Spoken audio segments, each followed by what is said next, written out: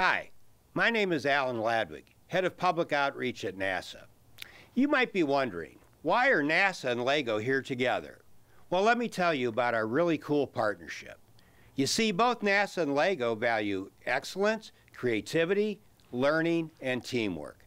By combining the wonders of space exploration with those fabulous LEGO bricks, we intend to do projects together to inspire kids of all ages, and yes, even you older kids, and bring those values through innovative activities and projects. But before you jump into those Lego bricks and start launching your ideas, let me tell you about the Lego bricks that are now up in orbit. Yep, that's right. In May, the Space Shuttle Endeavour transported Lego kits to the International Space Station to be assembled by the astronauts. Children and student groups around the world will be able to see how they did it and how different it is to assemble the same ones here on Earth. Maybe assembling these in microgravity is a little more challenging. But check out our website, www.legospace.com, for more information. But wait, there's more. Are you here to see the last space shuttle launch? Well, that's great.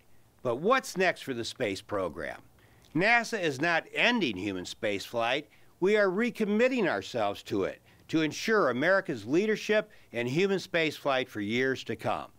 In addition to supporting the International Space Station, we'll continue to conduct world-class science missions to observe and understand our home planet.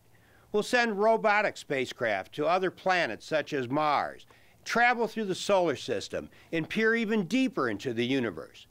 We'll advance aeronautics research so we can fly safer, quieter, more fuel-efficient airplanes. We'll pursue two critical building blocks for future of human exploration, the Orion crew vehicle and the heavy lift rocket, to let us send astronauts on long journeys into deep space. Hey, maybe you'll build one of those for us today. We will also promote the commercial space industry to provide transportation and services not only to the space station, but to low Earth orbit. In the meantime, we can't wait to see what your creativity and imagination will design for us today.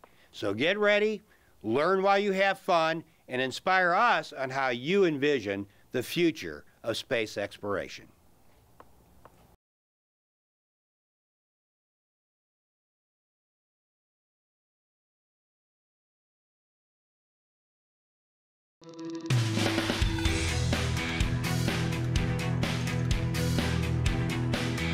Change is inevitable. As much as people don't like change, it's the only thing that's constant in our lives. We have to transition from shuttle uh, to a new future, which we're going to define, which can be even better.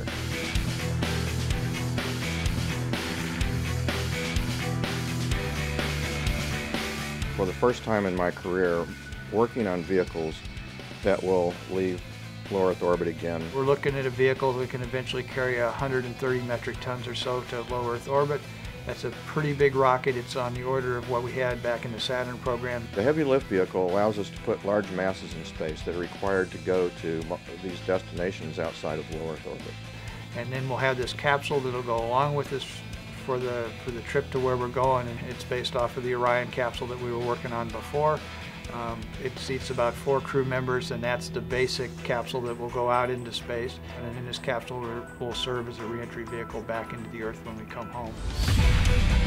Anything that we do in terms of space exploration is worth the expense um, because it gives us an opportunity to, to um, explore and to investigate and to experiment on things that, that we just have no way to fathom here on Earth. When you put things in the microgravity environment, you take them away from gravity, um, you, you learn a lot of different things. What we're doing is we're investing in a broad portfolio of technologies.